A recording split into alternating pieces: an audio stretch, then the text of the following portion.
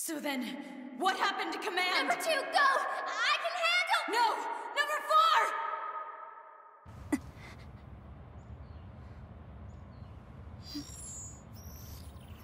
Activation of Unit A2 confirmed.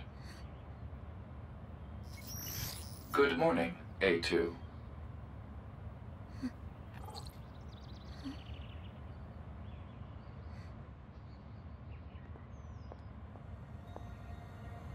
Who are you? Tactical Support Unit Pod 042. This pod has been tasked with providing firing support for Yorha Unit A2.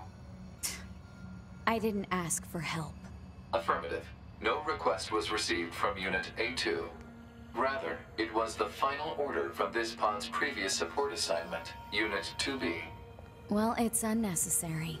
Yorha Unit A2 lacks the authority to override this order. Whatever. What the hell is that huge thing? Unknown. You're pretty useless, you know that?